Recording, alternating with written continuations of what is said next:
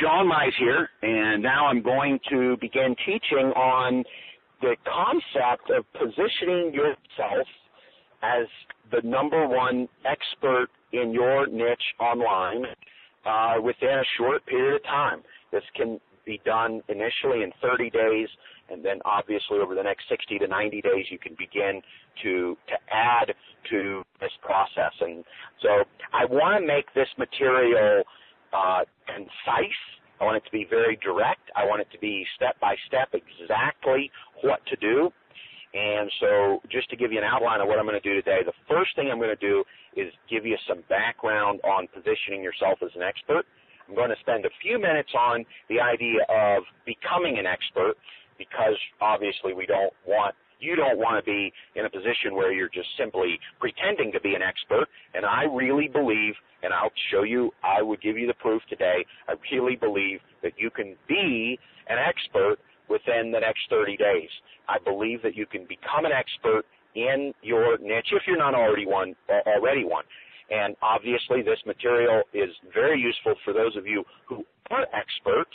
However, you're not perceived as an expert online. I'm going to teach you how to be, become perceived as an expert online. I'm going to give you step-by-step directions for exactly what to do and how to do it to be able to position yourself as an expert online. I'm also going to show you how to position yourself as an expert to your list, and I'm going to show you, I'm going to explain to you why that is so critically important. So first thing that I want to do is, is, is really give some background on the whole concept of becoming an expert and not just the concept of becoming an expert, but why it's important.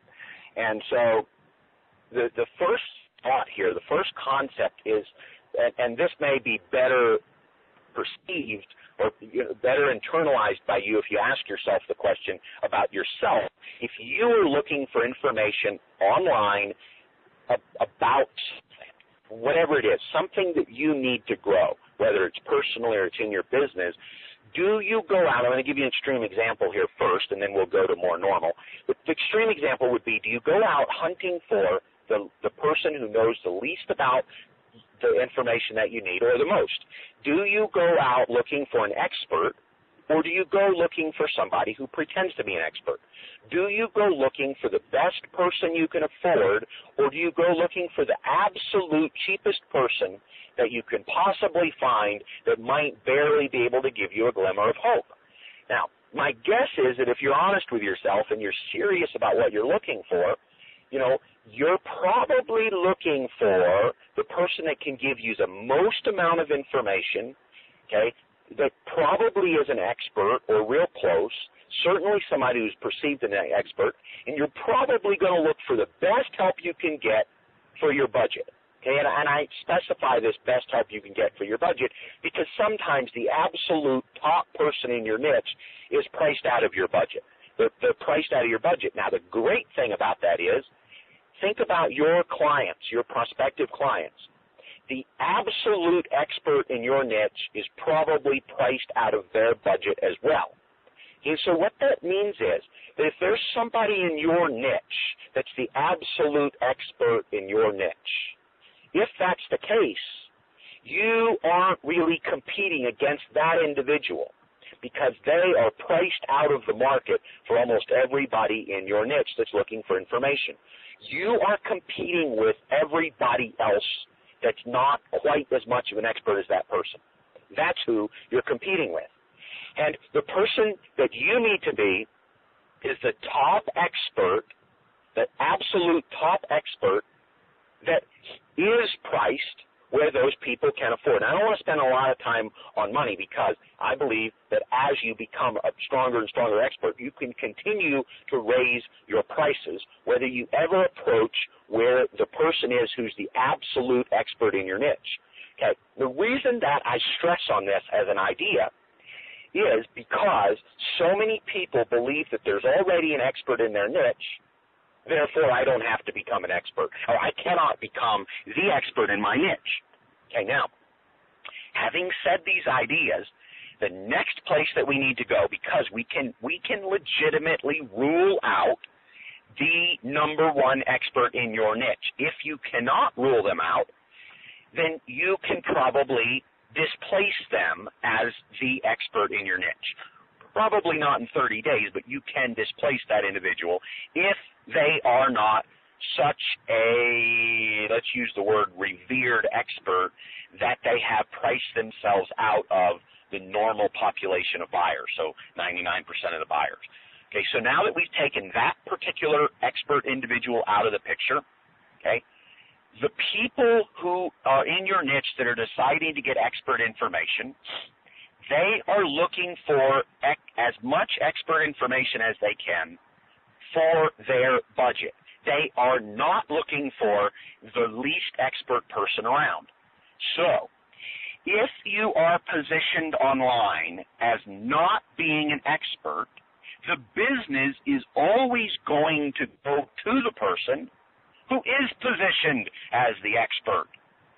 By default, when someone goes online looking for information, they are looking for the best information they can afford.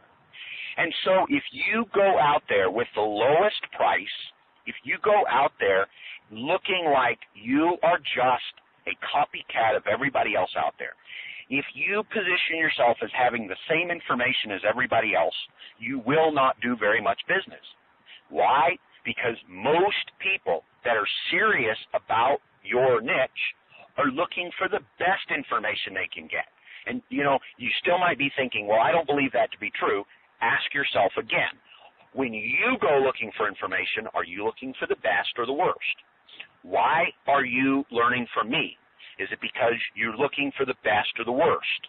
Why everybody else that you spend money with, do you buy from them, okay, because they can give you the best information or because you went out and hunted the person who does a best job of regurgitating someone else's information. And I believe if you're honest with yourself, in most cases, you are looking for the best and the most expert information. Now, please don't get me wrong. There's commodity information out there, and some portion of what you get is commoditized information. You may be able to get it anywhere, okay? But in your niche, you should be above the level of commoditized information.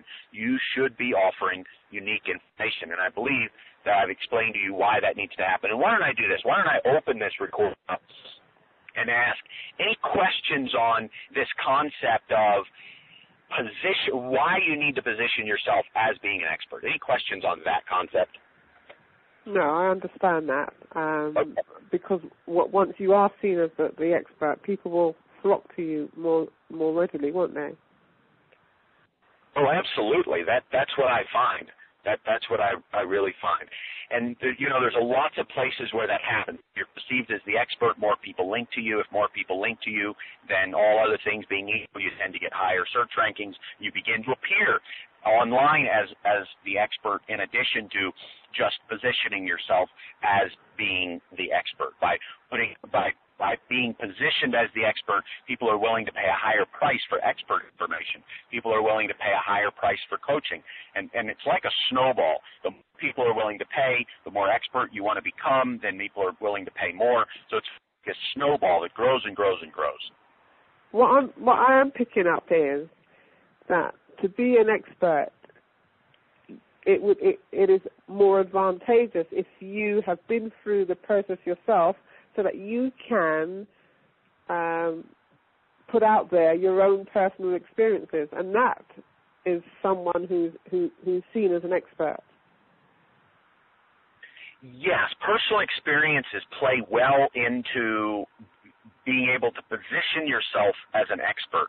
It, they, they really do. However, I believe that you can develop those experiences very, very, very quickly.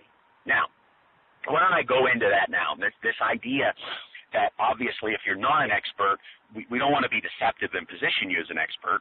But if you're not an expert, what does it take to become an expert? There's a few different ways that one could become an expert. Okay, and part of this is going to be an expert to your population of possible buyers. Okay, and so the question would be, how do we define an expert? I mean, we could define an expert as being someone who is the world guru of all kind of, of, of, of all levels, the most revered person, we could say, well, the only person that can possibly be an expert is the only number one in the world on this topic. Now, my belief is that someone as an expert, when they they have an incredible control of the material, incredible understanding of the material, and are able to pass on that information to other people in a way that other people can grow. Some might say that's a bit of a weak explanation that we may need to throw another piece of definition in. And I challenge you, go ahead and throw that in and simply attain to that level. However, let's ask ourselves this. If we are in a position where we know more than 99% of everyone else in our niche, would most people probably perceive us as an expert? Yeah, of cool. Okay.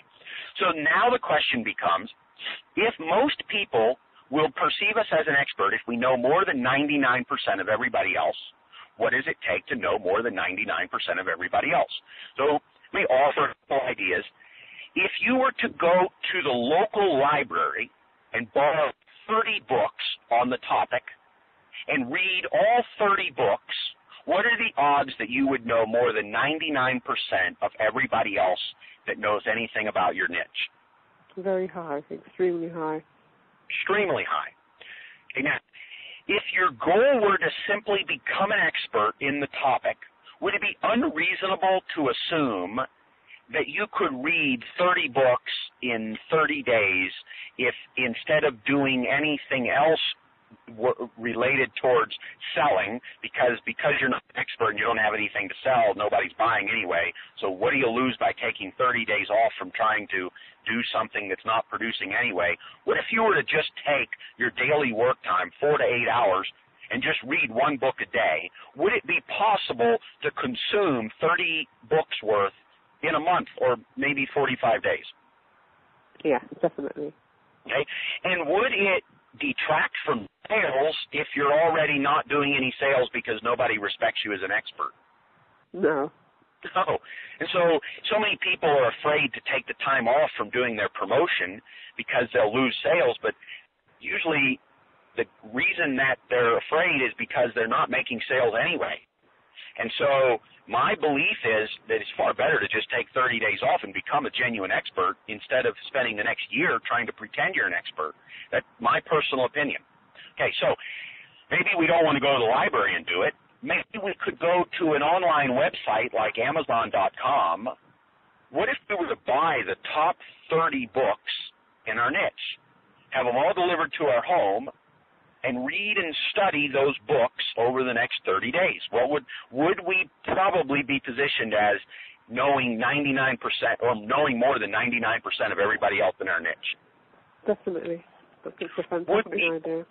Would we also know more than 99% of everybody else in our niche that's trying to sell information about our niche? Yeah. Yeah, we probably would. I would even challenge that for many niches, we would know more after reading 30 books, assuming that they weren't all just regurgitated information from each other, that we, we literally chose a nice selection of the best books in our niche, okay? We would possibly know more than the bona fide acclaimed expert in our niche, right?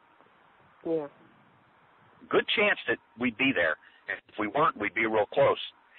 Now, the next step, now this goes out of our 30 days, and so it doesn't really apply, but I, I want to throw it in here, and that's the idea that after we read 30 books, would we also probably see that we have some holes in our learning and go back and say there's five more books that we need to get? Maybe we find them in the bibliography of some of the books we read that go into more depth on some particular subtopics. Could we expand our knowledge over the next 30 days by buying another five or 10 books that would help us go deeper? Yeah. Okay. Okay, so the third way that we could do this, so the first way is library. The second way is buying books on Amazon. I mean, obviously we could expand this to going to our local bookstore and buying books. So that obviously we could do that as well. Another way would be to go find the other top 30 experts online in our niche. If we were to purchase the primary core product of each of our 30 competitors and study all 30 products, would we probably know more after studying all 30 products than any one of those individual experts? Yeah. Can I ask you Not a question, would- John? Go ahead. Uh, is, is this what you literally do? Um, I do this in lots of ways. I mean, I don't do it necessarily with 30 books, and I'm using that as an example, but many times when I'm studying a new topic, I go to the library and I'll check out 15 to 30 books on a topic. I purchase, a, a, on average, I purchase about one brand new nonfiction book per week from the local bookstore and read it. Most weeks I read between one and three nonfiction books per week on related topics to what, not just what I teach, but many topics that are related to um, deeper than what I teach. So selling, marketing, understanding people, persuasion, word writing, words. I mean, every single week. I, in fact, last night I read a book uh, before I before I went to bed. Um, my wife went to bed, and over the next two and a half hours, I read a, a book. I wasn't planning; I was going to read like a chapter. I got engaged in it. I read the entire book before going to bed. That's a common experience for me. Is is reading for the purpose of gaining more information. And obviously that allows me when somebody comes to me with a question about a particular topic, I'm able to draw from a large bank of information because of the study that I do. So yes, to answer that, Elaine, it's not always 30 books at, you know, in one sitting like I'm proposing here for somebody that's starting out brand new. I've already got a nice, nice foundation, but, uh, I, I'm an avid reader. I'm an avid studier, and if I have questions about a topic, I will go to the library, I will go to the bookstore, or I will go online and I will purchase the information I need to learn about that particular topic. Yes. Okay. Excellent. Very good. So, um, so now that we've got this idea, and again, this may not apply to everybody. This applies to I just gave could apply to everybody. I mean, even an expert. If somebody's an expert in their niche and they were to go out and buy all of the products from all of their competitors, they would become like an Uber expert in the course of the next month or two or three. It, this this really is core applies to the person who is coming into their niche and they don't know very much and they're trying to pretend that they know by going and doing some research to write an article and then do more research to write an article and then do more research to write an article. Then when they go to write an ebook, they go, well, I got to do some research for this page and research for this page and wow, that's a lot of work. You know, my my thesis here is, look, why not just become an expert instead of trying to pretend to be an expert and having to go research every page that you write. Does that make sense? Yeah, definitely. You know, and I think that some people shy away from becoming an expert because they think it might take years. And my my theory is, look, it shouldn't take years. I mean, even if we were to take this down to a core level, if you were to go to the bookstore tonight, your local bookstore, and find the top five best selling books in your niche and read those five books in the next week, you probably would still know more than oh, than ninety seven percent of everybody online about your niche. That'd be my guess. I mean, obviously, some niches, you know, I, I, with just five books to choose from, I, I want to be real careful how definitive I am here. But my guess is you'd be ninety seven percent. You'd have more ninety seven percent more information than most other people online. Okay, and it's not as definitive as ninety nine percent, et cetera, et cetera, that you would get with like thirty. Okay, and, and so I believe that people can become more experienced on in a particular area in a shorter period of time than they think. And you know, I think that some people go out there and they say, "Well, I want to learn everything I can about my niche. I'm going to go read articles online for five hours." Well, my question would be, are you going to learn more by reading articles online for five hours, or just by going to the bookstore and buying a brand new book and reading the thing in five hours? Which one would you get more bona fide expert information from? For, for me, reading a book, you get you're going deeper and wider, whereas with articles, you, you can only get so much. Mm-hmm. You, you know, you only only get so much.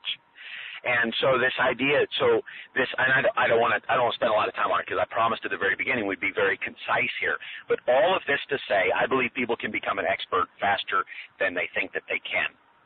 So let's move on then to now I've obviously gone through the idea that we need to position ourselves, why we need to position ourselves as an expert. Hey, because people want to buy from experts. The, the second thing is, how can you become an expert quickly? I believe I've just given something that 99% of all people can do to do it very, very quickly and become an expert very, very quickly. I, I believe that. And sure, for some people it may take more than 30 days if they're only putting an hour into their business every day and they can only shift an hour over. Well, sure, for that person it's going to take longer. Um, but for people who are not generating very much money anyway, what what's the risk in just saying I'm not going to do any business for a month? I'm just going to become a real expert and then instead of me having to beg people to buy from me, they'll buy from me because they can see I'm an expert. Does that make sense? Yeah. Yeah. Okay, so the next idea is, and I purposely save this for third, because I wanted to so totally um, drill in this concept you really can become an expert to the world in 30 days. I really believe that. I believe that. In fact, sometimes when I'm studying a brand new topic and I go to the bookstore and I buy a few books on a topic and I read and study those books, and I, I study them. I read them. I study them. Sometimes I look in the bibliography and I say, ah, that would be a good book. And then maybe I go to Amazon or I go back to the bookstore and I, I go buy that book. And now I've got deeper information. When people come to me, they, they might think I've I know this material intimately for years, and yet I've gained it by studying it intensely for a very short period of time. And I believe that anybody listening to this material can do it. So this third idea is that now that we've established the idea that in 30 days you really can become an expert to the world, you may not become the number one expert, but if you're the number two expert and you're the, the number one expert that's affordable, well, that's almost like being the number one expert, isn't it? Yeah, Because you've out you you you put the number one expert out of the picture, okay? Because they don't have time. We all have 40 hours. Some of us might have a few more. Some of us might have a few less. But you know, I mean, really, in the end of the end of the day, we have 40, 45 hours. And if somebody is an Uber expert and they have a thousand people that want an hour piece of their time each week, guess what? Nobody's getting very much of it. And but you are if, if somebody comes into a brand new niche, they become the expert they could offer 40 hours of one-on-one consulting over the course of the week and probably charge almost whatever they wanted for that and create a nice income very, very quickly, record those sessions, create products out of them, and wham, a year from now you've got 12 products, 15 products, and not only are you you position as an expert, but if you were to look at two experts and one person had 12 products and one person had one, assuming they were equally as an expert, who would you probably think in mind is the better expert? The one with the mo- most, most, most, just at my tongue, most products. Yeah, the one with the most products, the one with the most articles, the one with the most products, the one with the most emails. They don't even have to be better. But assuming that they are exactly as equal as all the other experts, if one person has 12 and one person has one, probably the person with 12 products is going to sell more for a number of different reasons. Okay, so let's move on. The next concept that I want to share here is the idea that you don't even have to be an expert to the world. You only have to be an expert to the people who know you. Now, I know that sounds crazy, okay, but people who don't know you are never going to buy from you anyway, right? Hmm. And if that's the case, the only people that have to be convinced of your expertness is the people who know you. Okay, so let's say that somebody becomes to know you through an article or maybe they click a pay-per-click ad because you're advertising, or maybe you're advertising in someone's email, and they find that your name and they find that you're in this niche. And they, they don't know anything about your blank slate. You could be a, zero, you could be basically a nobody, you could be the uber niche, you could be the uber expert in your niche. You're anywhere in between. They don't know. Okay. Now, in the next few minutes, they're going to find out. They're going to say, who is this person? Is this person an expert? If they were able to prove to themselves in the next few minutes that they believed you were an expert because you have 12 products, because you are more prolific than anybody else in the area because you have testimonials, because you have all the other things I'm going to teach about today, would that person who knows you then begin to believe that you are an expert? Yeah. And if that person believes you're an expert, and someone who doesn't know you at all does not believe you're an expert, does it really matter if the other person doesn't know you're an expert? No, not at all. No, not at all. Now, obviously, over time, as you become positioned as an expert, then more and more of the world is going to be attracted to you simply because you are the expert. But when you're first getting started, the only people who need to believe that you're an expert are the people who know you. Now, there's two groups of people who know you. One is the person that finds you with an article, a blog post, a an ad, whatever, uh, search engine, whatever. They come to you and they see you. Those are people that know you. And then the deeper level of people that know you are the people that opt into your list, give you the name and email address, and opt onto your list. Now, let me ask you this: What would happen if all that you did, if all that you did was position yourself only to those people who gave you their name and email address as an expert, and you did nothing else to position yourself as an expert. And all the people that were on your list believed that you were an expert, even if the rest of the world didn't. Would you be an expert to those people? Yeah. You would. And so, having said that, now, please keep in mind, I've already propo- proposed that you should become an expert. I've already proposed that you should go out and learn more than 99% of everybody else. I've already proposed that you should buy all your competitors' products. Uh, I'm suggested it as a possibility to, to so that you can not only learn everything one person knows or everything that they teach, but learn what 30 people know. And, and, and my feeling is you'll know more than 99% of all of those people, you know, or 90% at least of all the experts out there if you go buy all their products. Okay, so I'm I'm not in any way suggesting that someone not become an expert, in, in genuinely become an expert. I'm only suggesting that in addition to becoming an expert, does it really matter outside of the people who know you? Does it really matter if you're perceived as an expert? No. No. No. Only the people that you, you, you build a relationship matter.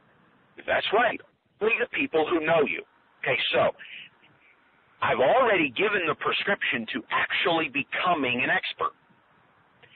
Now what I'm going to do as I continue through this teaching is I'm going to give you the prescription for not just becoming an expert, I'm going to give you the prescription for number one, being seen as an expert to someone who finds you online and has the question, I wonder if they are an expert. And then I'm also going to next give you exactly what to do. Actually, I'm going to do that first. I'm going to do this next thing first. I'm going to show you. I take that back. I'm going to. I, I I've got points number two and three mixed up here. Live recording, that's what happens. So then I'm going to give you how to present that information to the people that do know you intimately on your list so that you are shown as the expert how does that sound? Yeah, that's fine. Any questions on anything I've covered before I get into that material? No, but what, what you've covered so far, Sean, is, is, is brilliant. Excellent. Thank you for sharing that. I appreciate that.